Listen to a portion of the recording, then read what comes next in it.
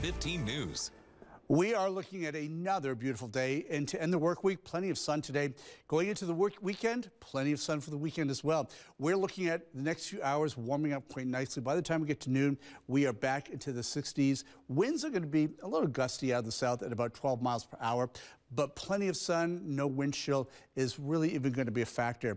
For the rest of the day today, we are going to be seeing 69 as our high, plenty of sunshine, not really any clouds. It is that high pressure that is dominating us, keeping us really dry, and that's going to kind of continue into the uh, weekend as well. Tomorrow, we are back in the low 70s for the majority of us.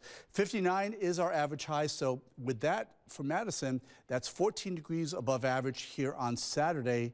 And then if we look at what's going to be happening on Sunday, it gets even warmer than that. So we're going from uh, 14 degrees to maybe 18 degrees or 19 degrees above average right there. Some of us are going to get into the low 80s, and this is a temperature that will probably stick around into Monday as well. That is how warm this uh, system is going to be as we go forward.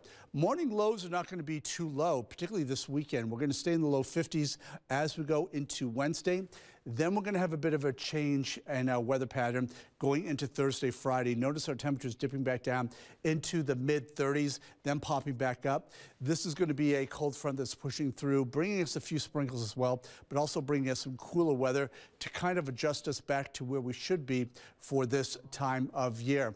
Breezy conditions today, breezy conditions tomorrow. If you have any outdoor plans, it is going to be a good weekend. If you're getting on the lake here on Saturday, the breezy conditions could cause a little bit of a chop on the lake, but those water temperatures are still above average right now in many of the lakes around Madison. And as we go through the next part of the week, Monday, Tuesday, we are still in the 70s. You do notice a big change in temperature as we go from uh, Tuesday to Wednesday, dropping down from 72 to 16, about 16 degree drop right there. Also, the chance of showers is coming at us for the end of the week.